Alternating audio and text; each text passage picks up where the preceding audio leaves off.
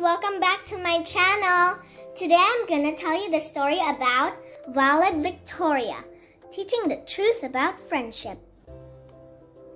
Violet Victoria and Emily Rose were best of best friends, as everyone knows. They played every day from morning till night, then talked across the yard till Mom turned off the light. Violet loved dress up make believe, and pretend. But Emily preferred baseball, but went along with her friend. Darling, Violet would say, sipping make believe tea, your dress is quite stunning. Now, what about me? My dear Miss Diddlehuff, her friend would reply, you're the loveliest of lovely, no one can deny. The two were inseparable, two peas in a pod. The thought of more friends seemed incredibly odd. Why? Who needs another when I've got you near? They'd said to each other, then shout out their cheer. Forever friends, we always will be. Best of best friends, just you and me. Then they'd skip, hop, and jump and give a handshake a secret, silly something like a gooey patty cake. Then they'd grin, smile, and chuckle as they'd walk down the street, repeating the cheer to the top of their feet. Can we be your friends? Other children would reply. We're afraid not, they'd answer. Then they'd run off to play. But then came the day when everything changed. In one single morning, their lives rearranged. It was just after recess, before the big test, when in walked a girl with a polka dot vest.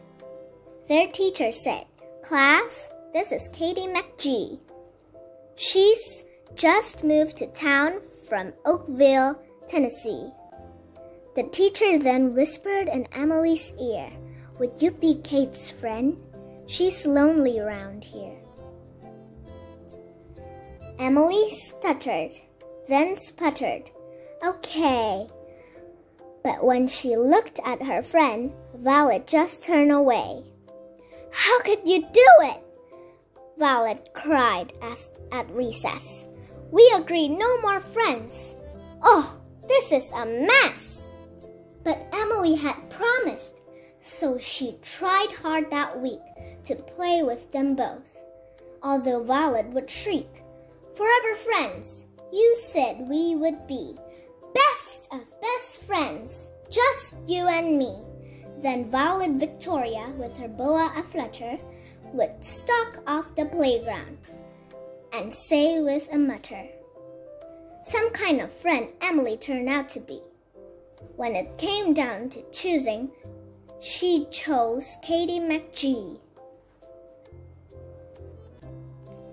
Day after day, Violet watched from afar as her former best friend became an all-star. You see, Emily Rose left to bat, hit, and run, and together with Katie, their team always won. Who cares? Violet grumbled. I don't need her, she said but instead she felt awful. So she bowed down her head. Dear Jesus, I'm sorry, Violet prayed with a tear. I know that it's selfish to hold Emily so near.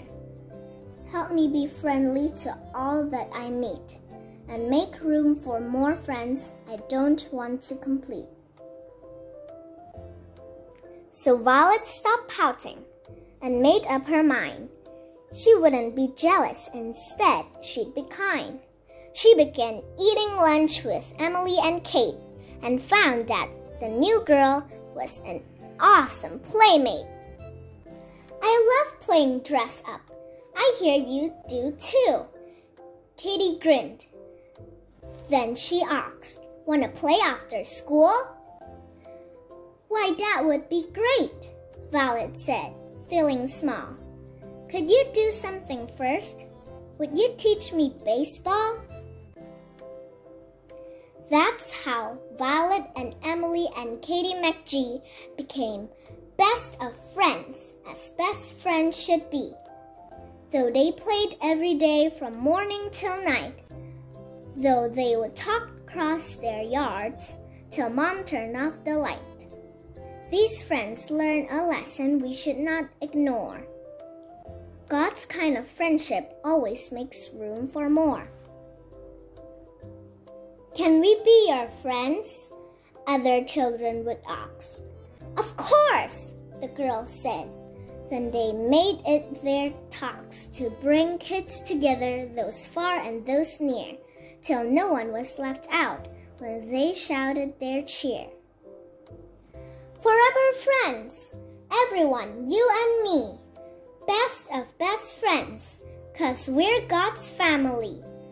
Love each other like brothers and sisters. Romans 12, verse 10. So, how do you like the story? Please like and subscribe the buttons for more video. Bye-bye! Thanks for watching!